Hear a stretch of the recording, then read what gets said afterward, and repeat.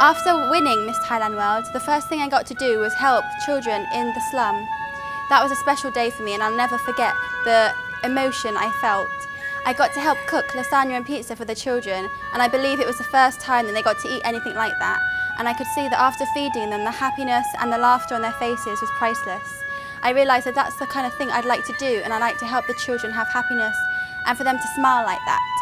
Also, at the moment, Thailand, we've uh, had a disaster with the flooding from the heavy rainfall and I got the opportunity to go and help uh, give them food, help give them clothes and toiletries. And that shows that Thai people, we stick together and we help each other out. And that's the kind of message I'd like to send all over the world, for everyone in their country to stick together and help each other out. I'm proud to be Thai and I'm proud to represent Thailand.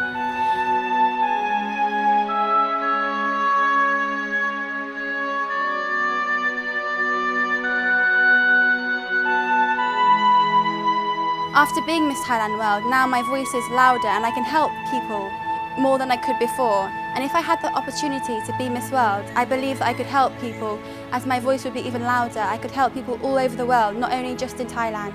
And I'd be the proudest person ever. Thank you. ขอบคุณค่ะ